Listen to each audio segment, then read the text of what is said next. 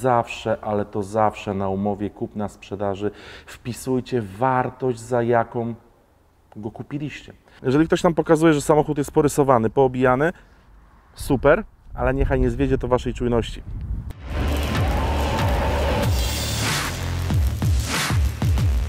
Cześć wszystkim, tak, to już praktycznie minęło ponad 5 lat, kiedy w tym samym okresie na przełomie kwietnia i maja, a bardziej początku maja, zadebiutował odcinek, który zaczął bardzo dużą serię, a mianowicie jak kupić w Polsce samochód używany i nie wbić się na minę. Zostało rozczłonowane na 29 innych odcinków o patologii polskich warsztatów, polskich autohandli, polskich klientów i wiele, wiele innych członów. Dzisiaj mamy czasy jakie mamy, aut się sprowadza niestety coraz mniej ze względu na sytuację pandemiczną za granicą i tak dalej, więc mamy mało samochodów, dużo chętnych, bo teraz każdy chciałby się poruszyć samochodem, bo to bezpiecznie i w ogóle, więc prosty odcinek. Jeżeli Wam się będzie podobał, to go dobustujcie, bo to jest ważne, ważne i nie każdy zostawia tego kciuka w górę. 5 mistrzowskich przekrętów handlarzy, czyli co do dzisiaj dzieje się i wedle nowych przepisów, na co musicie koniecznie uważać, bo konsekwencje mogą być tego srogie. Od kilku tysięcy kary po kilkaset tysięcy złotych kary, więc zacznijmy od takich prostych drobnostek, o których nie każdy z Was chyba wie. Punkt pierwszy, ale zanim go omówimy, pamiętajmy, nie wszystkie autohandle są złe, nie każdy sprzedawca jest zły i nie traktujmy go jak wrogów, bo my, kupujący, wy kupujący, też oczekujecie niejednokrotnie w cenie Tico Mercedesa. Ale zaczynajmy. Drobnostka, pierdoła, rzetelność sprzedającego. Może być to bardzo mylne. Dlaczego? Dlatego, że kiedy kupujecie wasz samochód, niechaj będzie to pierwszy, drugi samochód, może się okazać, że przystępując do oględzin, zaczynacie go dogłębnie oglądać, sprzedawca wychodzi Wam naprzeciw i mówi, wie Pan co, Pan tak nie ogląda, Pan się tu przyjrzy. Tu mamy drobną ryskę. Tu mamy drobne wgniecenie, to była, wie Pani, no szkoda parkingowa, grat spadł. Tu mówi, tu ktoś kluczem porysował.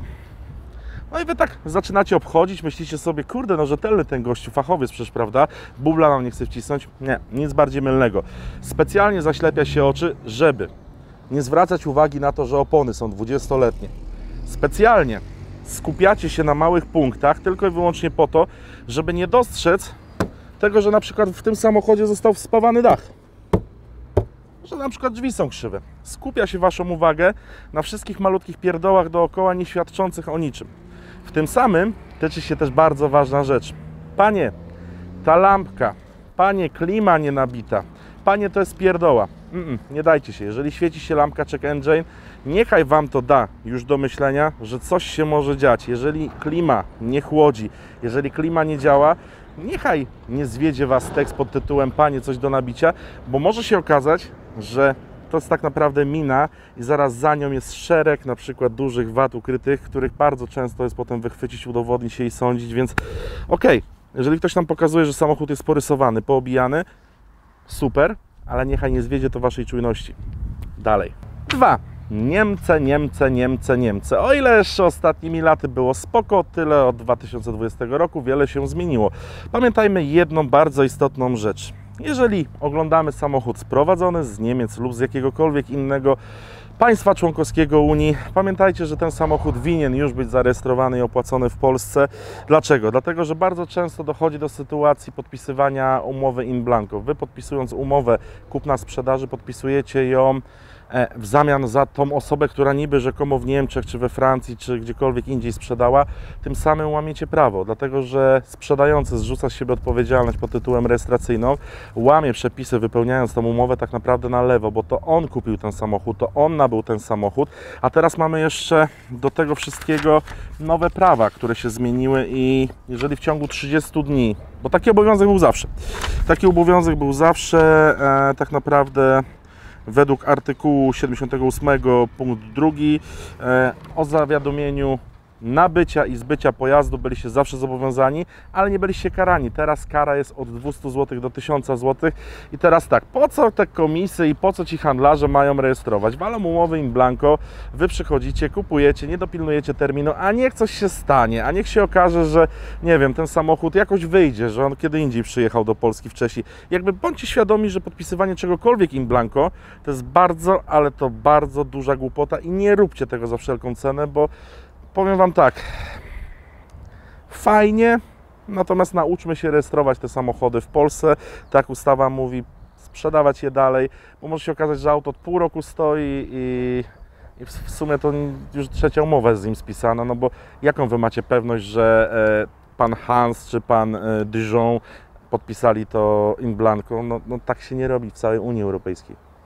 Mój ulubiony punkt, za który handlarze samochodów mnie nienawidzą, bo ostatnio jak o tym mówiłem i o samochodach sprowadzonych z USA, wplotłem Car Verticala, o którym dzisiaj też powiem i okazało się, że to bardzo duży błąd, bo niektórym to ubodło. Nieważne. Słuchajcie, wyszła ostatnio dość gruba afera, a mianowicie sprowadzanie samochodów ze Stanów Zjednoczonych, a dokładnie jak zostały sprowadzone, jak były zakwalifikowane e, przy sprzedaży. Chodzi mniej więcej o papierek, jaki tam był. Bo teraz, jeżeli samochody ze Stanów w 90% są powypadkowe, bo inaczej się ich nie opłaca e, przywozić do Europy i do Polski, bo akcyzy, bo to, bo tamto. Taki Hellcat za granicą, tam w Stanach jakieś 350-360 tysięcy, w Polsce 550. Oto zrozumcie różnicę. I teraz doszło do sytuacji, gdzie sprowadzono samochód, który był wystawiony na sprzedaż i przez urząd zarejestrowany jako e, samochód, teraz ważne, nie do rejestracji, ale z jakich przyczyn? Może być wyrejestrowany, może być e, w czasie naprawy. To jest spoko.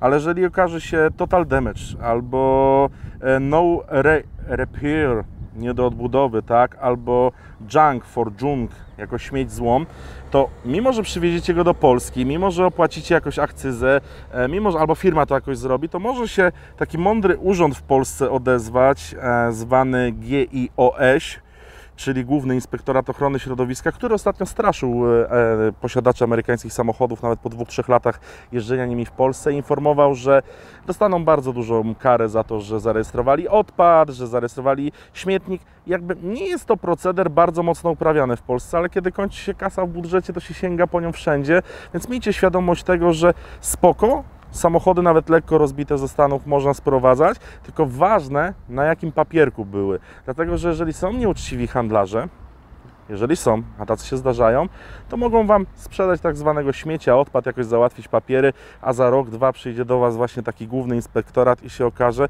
Oczywiście przy zakupie samochodu ze Stanów Zjednoczonych macie takie instytucje jak Carfax, macie takie instytucje jak y, jakieś wyszukiwarki win i macie nawet rzeczonego Car Verticala, który był tutaj tak e, w tamtym odcinku wyzywany, czyli stronę, jeżeli ktoś nie umie się poszukiwać w internecie, do której wpisujecie numer WIN Waszego pojazdu, który chcecie zakupić i pokaże Wam się, czy był uszkodzony, jeżeli był uszkodzony, to jak był uszkodzony. Oczywiście nie zawsze są zdjęcia, nie zawsze jest pełen raport, bo strona cały czas się rozwija, ale możecie mniej więcej mieć pogląd, czy coś się działo, a jeżeli coś się działo, to jak się działo bo to jest bardzo ważna sprawa. I oczywiście link do Car Verticala macie w opisie, a dla stałych widzów jest tam rabacik przewidziany na raport. Ale gdyby raport nie zabanglał, bo to jest bardzo ważny przekaz, gdyby coś Wam nie pasowało, byłby totalnie pusty, zero informacji, to zawsze możecie napisać na maila, który tam jest z supportu i bardzo często, ale to bardzo często zwracają Wam pieniądze. A więc w przypadku samochodów ze Stanów Zjednoczonych przede wszystkim rozsądek, rozwaga, chociaż jest dużo firm sprowadzających, importujących te samochody, mówiących co było zrobione, pokazujących zdjęcia jak to wyglądało, więc nie taki diabeł zły, jak go malują. Punkt czwarty. Gdzie siadasz dupą na Reksia? Spokojnie, Reksiu w końcu będzie reanimowany. Słuchajcie, kochani, punkt czwarty jest punktem, wydawałoby się prozaicznym, ale nadal występującym, bardzo często trafiającym się mnie też na warsztacie, czyli przygotowanie odpowiednio samochodu do sprzedaży. Zdarzają się handlarze, którzy są bardzo, ale to bardzo nieuczciwi i takich powinno się wysyłać do więzienia, tak przy tym Clio, nie wiem, czy pamiętacie odcinek, ale wyobraźcie sobie sytuację, kiedy mamy jakiś silnik, który już nie jest w najlepszej kondycji. Pali bardzo dużo oleju, łożyska ślizgowe, czyli panewki, mają już luz, podstukują, są jakiekolwiek luzy i wlewa się środki, specyfiki, zagęszczacze oleju typu Motodoktor, które przy jeździe próbnej, przy nagrzewaniu nie wskazują na to, że ten silnik źle pracuje. I takie same sytuacje się robi ze skrzyniami biegów. Miód, trociny, pamiętacie takie rzeczy. I, i, I co w takiej sytuacji? No jest problem, dlatego że jeżeli kupujecie i sprzedawca Wam deklaruje, że olej, bo tak jest najczęściej, olej był niedawno zmieniany, tydzień temu, macie karteczkę, macie wlepkę, macie wszystko, sobie jeździcie, nie obciążacie tego silnika, on na tym glucie jeździ, jeździ, jeździ, jakieś tam ciśnienie oleju trzyma, więc kontrolka ciśnienia oleju się Wam nie zapala, Natomiast potem okazuje się przy pierwszej wymianie oleju, że no jest problem, bo wyleciał Wam glut albo taki żelek z miski olejowej, wlaliście świeżego oleju i okazało się, że są tak duże luzy wszędzie, że obróciło Wam panewkę i tak dalej. No jedyna sytuacja Jedyne rozwiąza- rozwiązanie takiej sytuacji potem to jest bardzo długi proces dochodzenia na drodze sądowej. Taki warsztat od razu musiałby udokumentować zdjęciami i wszystkim, e, że taki olej się tam znajdował, że jakaś gęsta wydzielina wyleciała, co nie powinno mieć miejsca. A wy na drodze sądowej możecie dochodzić do tego, że to jest wada ukryta.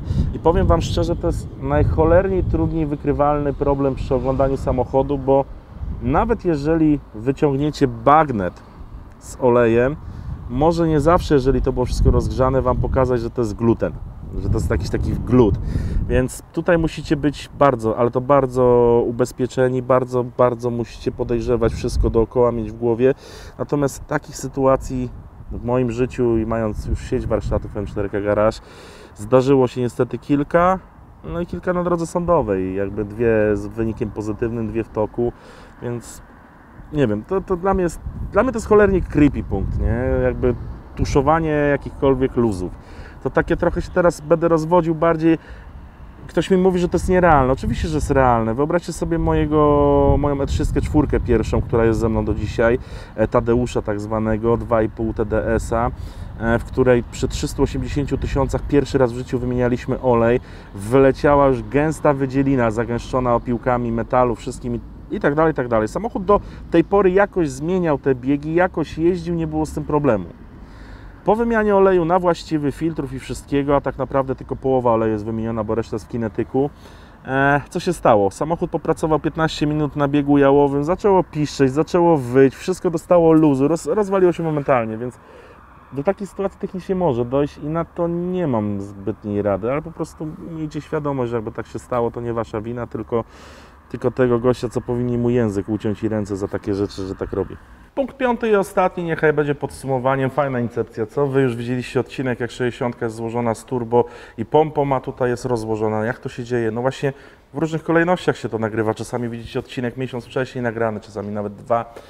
Patrz kamera cofania. Reasumując, punkt piąty jest punktem, który będę powtarzał. On się zazębia, on jest non-stop wymieniany. Jemu są poświęcone czasami tylko jedne odcinki, ale na miłość boską, zapamiętajcie go, błagam i go przekazujcie rodzicom, a jeżeli jesteście rodzicami, to dzieciom, że jeżeli zakupujecie w Polsce samochód używany, roczny za 500 tysięcy, czy 20-letni za 5 tysięcy, zawsze, ale to zawsze na umowie kupna sprzedaży wpisujcie wartość, za jaką go kupiliście. Jeżeli zwiedzie wasz, was sprzedawca lub handlarz tym, żeby płacić mniej na umowie, bo będzie mniejszy podatek PCC od czynności cywilnoprawnych, czyli dóbr luksusowych w Polsce, wynoszący tylko 2%. Niektórzy powiedzą, dobrze, przy aucie za 100 tysięcy to już jest jakaś kwota. No jest kwota ubezpieczenia i tak dalej, ale teraz odbijmy piłkę. Pozdrawiam oczywiście tych wszystkich widzów, którzy tu przyjechali po zakupie auta i okazało się, że skrzynia biegów jest do remontu. Okazało się, że silnik jest do remontu, ale też okazało się, że zapłacili za samochód 60 tysięcy, a na umowie wpisali 30. I handlarz powiedział, że okej, nie ma problemu, ja panu oddam 30 tysięcy, tyle pan ma na umowie, umowa to jest rzecz święta. Kiedyś taki jeden głąb e, biznesowy powiedział do mnie, że to, co on mi obiecał, e, to jest subiektywne, a to, co jest na papierze, subiektywne. I miejcie te słowa, bo może stać się duża krzywda. I teraz kolejna rzecz, ubezpieczenie.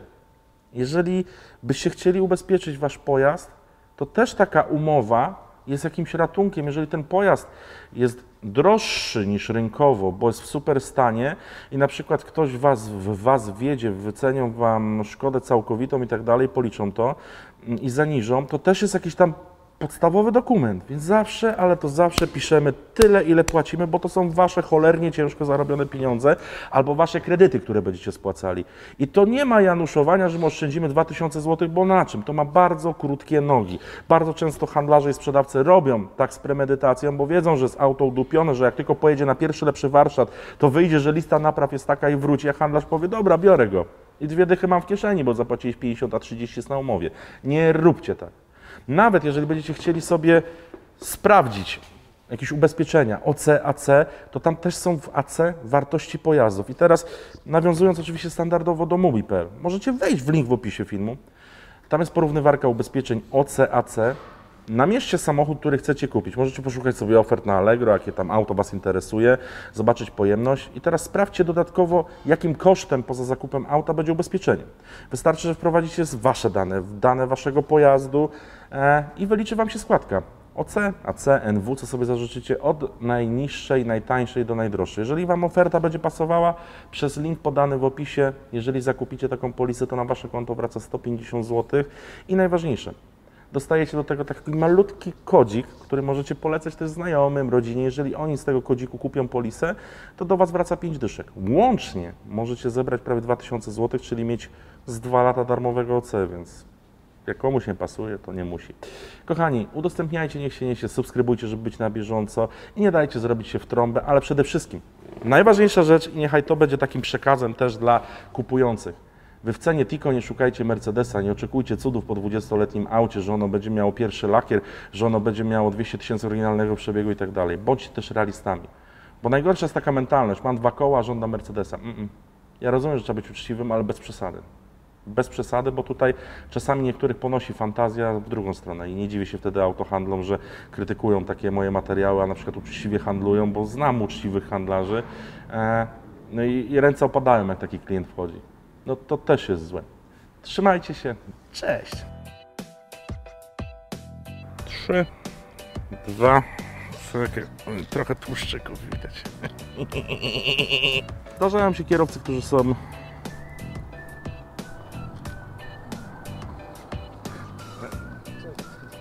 Powiedziałem kierowcy, pomyliłem się. Lecimy jeszcze raz.